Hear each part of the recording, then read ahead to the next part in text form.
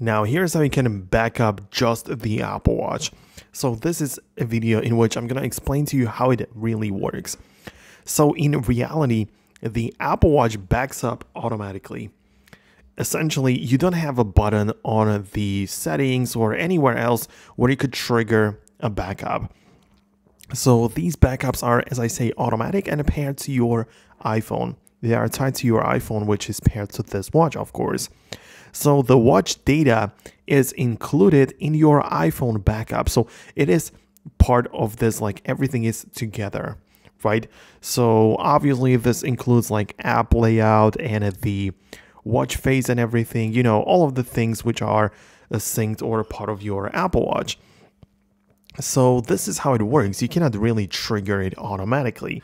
If you really wanted to, what you could technically do is to unpair your Apple Watch right here, and you're you would be able to uh, just then trigger and a backup, right? So when you unpair your Apple Watch, your iPhone creates a fresh automatic backup. So that's how you could technically do it if you really wanted to, but this is certainly not recommended.